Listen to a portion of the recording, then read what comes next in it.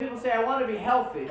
That I understood. They said, I want to be able to get a checkup. I want the hospitals to stay open in my neighborhood. I want to have health insurance coverage. But they say another H I was surprised at. You hear it everywhere. They say, I want to be healthy in my mind too. I want to know when I walk down the street, I'll be safe from being a victim of gun violence or crime. But I also want to be safe from the police department stopping me just because I'm a person of color. Over 700,000 times last year, someone stopped, a police officer stopped someone who did nothing wrong. My wife and I have an 18-month-old at home. And in 17 years or 16 years, he's going to be walking down the street. And if God is good, he's going to be walking down with friends of all faiths and all colors and all races. But the truth is, he's not going to get stopped by a cop. Our son is not going to be, but your son, your grandson is. That is wrong.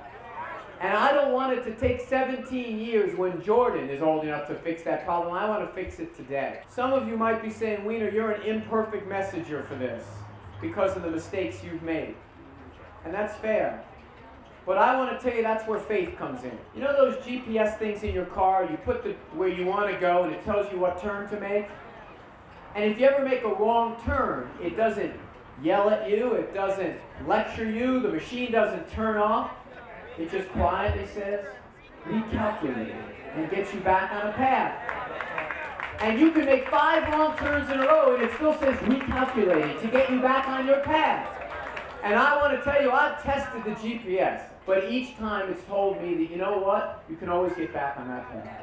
And that's something true for all of us. It's something true, God willing, for our city. And I'm running for mayor this year because I want to get us all back.